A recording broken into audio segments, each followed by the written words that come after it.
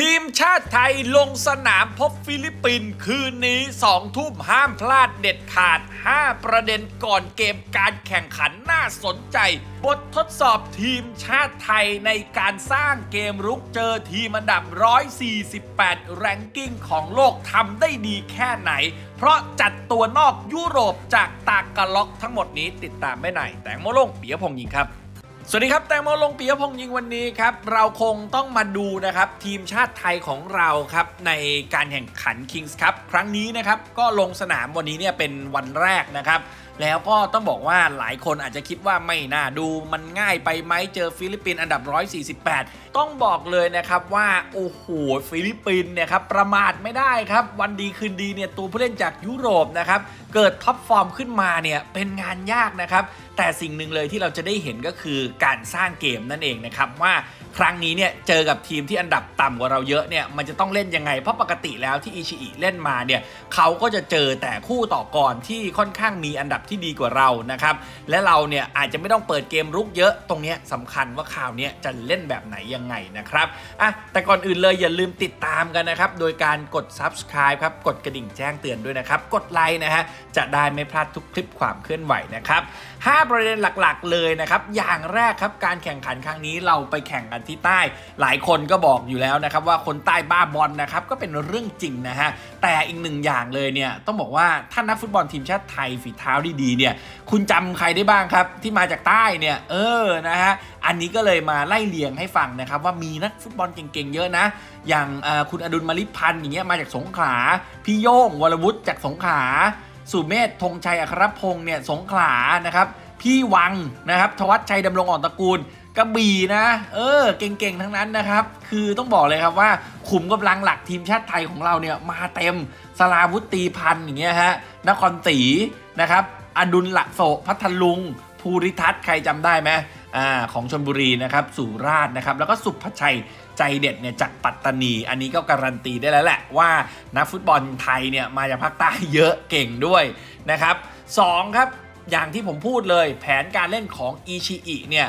การที่เขาเข้ามาคุมทีมอย่างเป็นทางการนี่อิชิอิถ้าพูดไปพูดมาเนี่ยก็มาไม่นานนะเพิ่งมาวันที่ 1 มกราจำได้ไหมฮะ เกมแรกเจอกับญี่ปุ่นเนี่ยครับโดนไป5นะครับเกมนั้นแต่เราได้เห็นอะไรมากมาย คุมทีมชาติไทยไป 10 เกม ซึ่งมีแค่ 2 เกมเท่านั้นที่เขาเจอทีมที่มันมีแรงกิ้งต่ำกว่าส่วนอีก 8 เกมเนี่ยเจอชาติที่แข็งกว่าเราล้วนๆนะครับดังนั้นรูปแบบแท็กติกการเล่นเนี่ย มันจะออกมาเป็นแบบไหนนะครับเนื่องจากคู่แข่งอย่างญี่ปุ่นเกาหลีใต้ซาอุอุซเบย์คือเราไม่ได้เปิดหน้าแรกอยู่แล้วไงฮะนะครับคือถ้าเราเปิดหน้าแรกมันก็โดนนะครับเพราะฉะนั้นเราเล่นเกมรับเล่นตามจังหวะเกมนะครับเราค่อนข้างที่จะรัดกุมคอมแพกเหนียวแน่นนะครับแต่ถ้าหากว่าเจอคู่ต่อสู้ที่อ่อนชั้นกว่า หรือว่า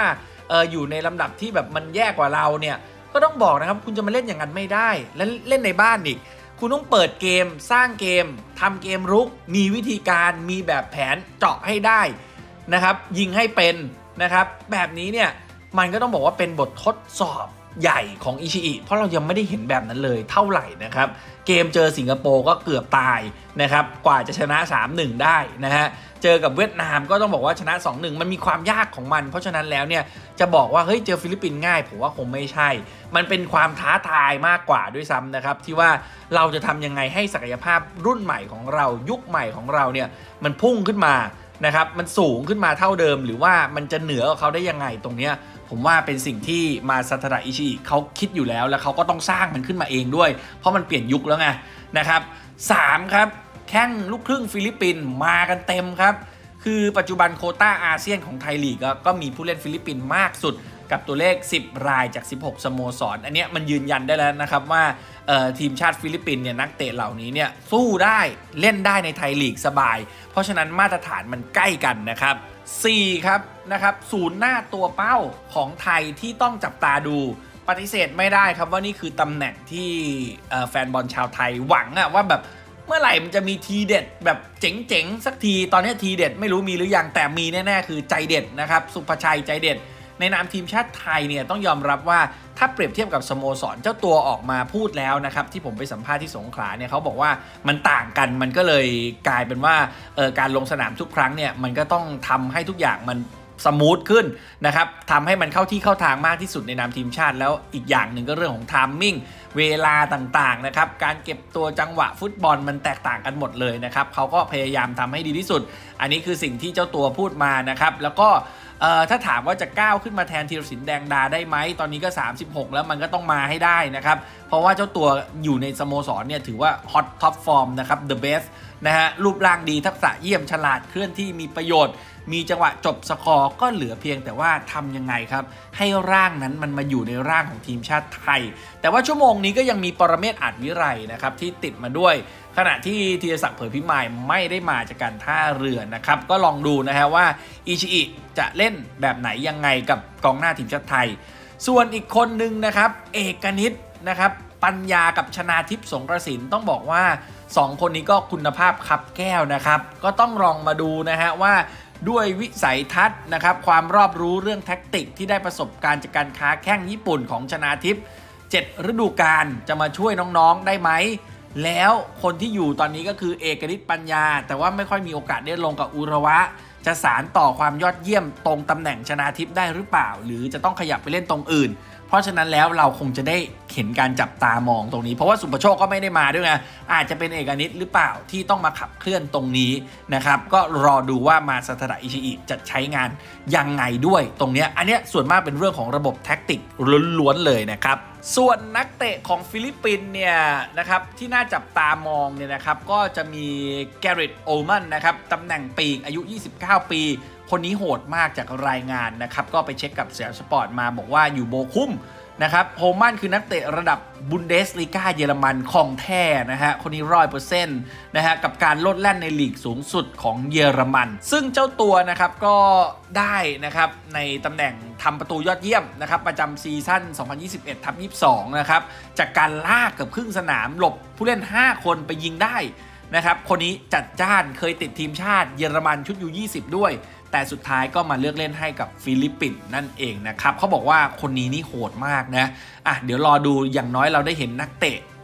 เยอรมันนะครับในการลงสนามกับทีมชาติไทย คนที่ 2 เราเห็นกันบ่อยแล้วนะครับก็เป็นจอห์น แพทริก สเตราส์นะครับกองหลัง 28 ปีอยู่เมืองทอง เล่นได้หลายตำแหน่งคนนี้นะครับก็ถือว่าเล่นดีนะ ผมชอบนะครับ ก็ต้องดูว่าความฉลาดของเจ้าตัวและความสารพัดประโยชน์ที่เล่นได้หลากหลายตำแหน่ง จะช่วยฟิลิปปินส์ได้แค่ไหนนะครับ อีกคนหนึ่งครับ เป็นดีแลนเดอะแม็กนะครับเดอะแมนนะครับ อายุ 20 ปี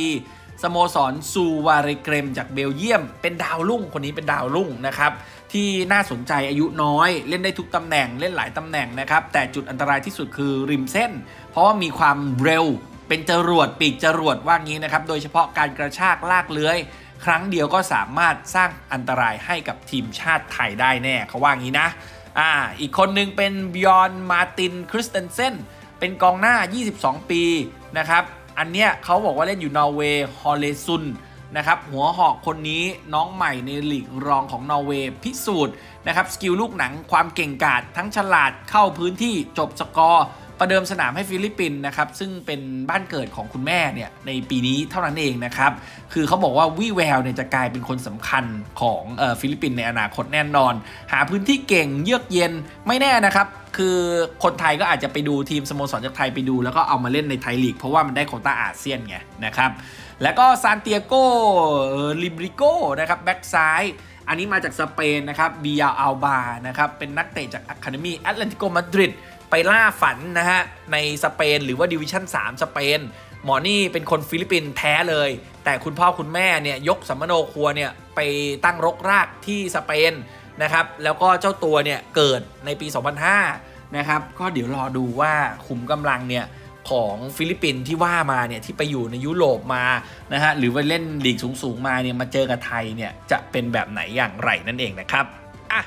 ก็คือทั้งหมดทั้งมวลนะครับ ถ้าหากว่าชื่นชอบอย่าลืมติดตามกันได้ครับ โดยการกดไลค์ กดแชร์ กด Subscribe กดกระดิ่งแจ้งเตือนจะได้ไม่พลาดคลิปความเคลื่อนไหวนั่นเองครับ มาแล้วทริป VIP สุด Exclusive ลุยดูพรีเมียร์ลีกถึงประเทศอังกฤษแมนเชสเตอร์ยูไนเต็ดปะทะปืนใหญ่อาร์เซนอลพร้อมเกมเดือดหงส์แดงลิเวอร์พูลปะทะนักบุญเซาท์แฮมป์ตันทัวร์สนามฟุตบอลยักษ์ใหญ่แดนผู้ดีเที่ยวชมนครมหาวิหารโบราณของอังกฤษ และเป็นมรดกโลกยูเนสโก ช้อปปิ้งกลางกรุงลอนดอน กินหรูอยู่สบายกับผมแตงโมพงพิสุทธิ์ผิวอ่อน พร้อมออกเดินทาง 6-14 มีนาคม 68 สนใจติดต่อตามรายละเอียดด้านล่างนี้ ครั้งหนึ่งในชีวิตที่คอบอลไม่ควรพลาด